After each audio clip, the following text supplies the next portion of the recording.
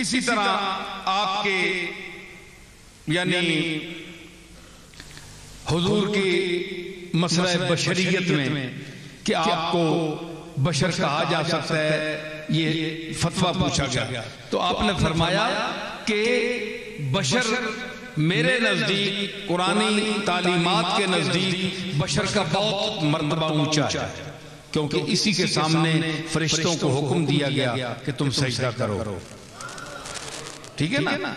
तो बशर का बड़ा मकाम है लेकिन उर्फ़ आम में बशर इस ढांचे को कहते हैं ये जो आम लोग बैठे हैं बशरियत का इतलाक इस पर होता है तो हुजूर सलाम अगर कोई कामिल और अकमल इंसान हुजूर सलाम के इसमें गिरामी के साथ बशर का लफ्ज लगाए बगैर किसी एजाजी लफ्ज के तो वो लगा सकता है बशर कह सकता है। बहुत ऊँचा आदमी जो हुजूर के मकाम और एहतराम को समझता हो।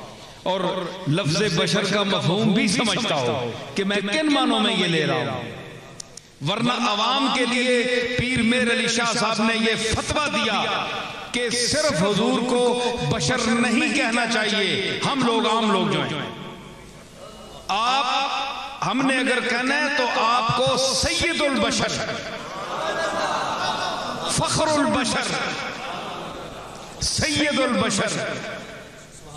समझ आई आलमुल बशर अफजलुल बशर। कोई लफ्ज लगा करके बशर के जो बशरियत है बशर के सरदार है आप। तो मैंने मेरी एक गज़ल थी। तो फिलबदी उसमें मैंने शेर कहे थे तो मुझे अपना मकता याद आ रहा है कि पीर साहब ने फरमाया ना कि इसका मफहूम जो है वो असल में बशर का वो बड़ा मुआज मफहूम है। बशर कोई आम चीज़ नहीं है। बशर का बहुत बड़ा मकाम है। लेकिन आम जो लोग हैं वो समझते हैं हम भी उन जैसे बशर हैं। तो ये गलत बात है। ये गलत है।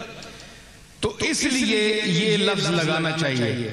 और फिर उस पर मैंने भी इसी मफहूम को अदा किया। और ये नूर बशर का झगड़ा मैंने मिटाने की कोशिश की थी। शेर सुनिए। शेर वैसे शेर नहीं है इसमें मफहूम है एक मसला है। उनको ढाला गया जब जब पैकर खाकी में नसीर। बशरियत के ढांचे में हुजूर को उनको ढाला गया जब पैकर खाकी में नसीर नूर होता रहा कुर्बान बशर होने तक।